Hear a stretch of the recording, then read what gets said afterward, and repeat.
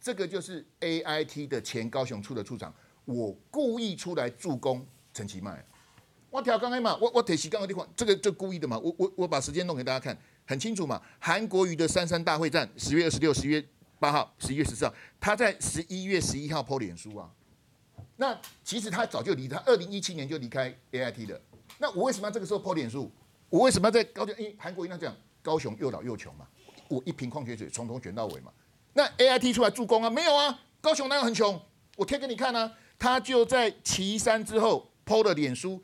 绿色媒体欣喜若狂啊！我就看 A I T 跳出来哦，挺陈其迈，这就明显的。所以我讲吼，这个韩国一一被去这个这个美国轰门，我我我认为是各据所需。原因就是说，昨天那个江启臣有讲啊，说马总统当年跟这个这个哈佛大学用用视讯啊，因为总统我们我们只要当选总统就不能再去美国了。真的有监看？哎，对对对，就就去华盛顿访问会比较敏感，所以他去用视讯。那我请问大家，韩国为什么不用视讯？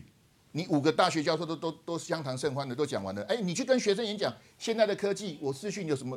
这不是问题，他就是观众们有些事情只能做不能说了，反之亦然啊。我就是故意要去美国了，人家来邀请我就哦啊，你们这么这么诚邀请我就去。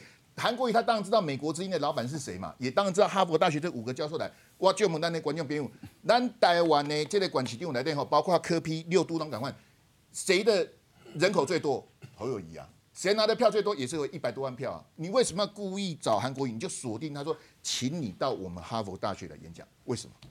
就是因为美国说，哎，你可能一调，可能一算，晚年写地价啊！所以外外外结论呢，哈，就说我认为韩国瑜到美国的这个这个访问是一个二零二零可能参选的起手式啊。那我这边呼吁韩粉跟韩非不要不要急啊！韩粉跟韩黑都都，但因为下礼拜就过年了，大家好好的过农历春节。等他从美国回来之后。会更更明。